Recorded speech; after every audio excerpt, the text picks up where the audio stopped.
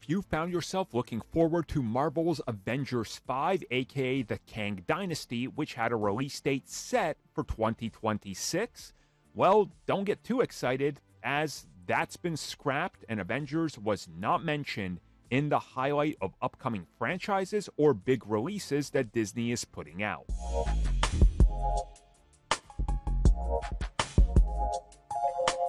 So, once again, this is coming at us from the official press release and what Disney's CEO, Bob Iger, was talking about during the investors call. And he was, you know, putting forward their best foot, essentially highlighting great Disney animation coming at us, sequels, and films expected to bring in large revenue. He, of course, talked about the next Captain America, he, as I mentioned in the other video, didn't mention Thunderbolts, and that's nowhere on the release schedule now.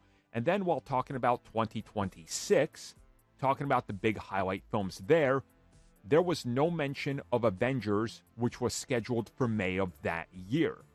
And instead, there's now speculation that a Star Wars film could be releasing in May, and that Avengers has been scrapped per reports that we heard recently.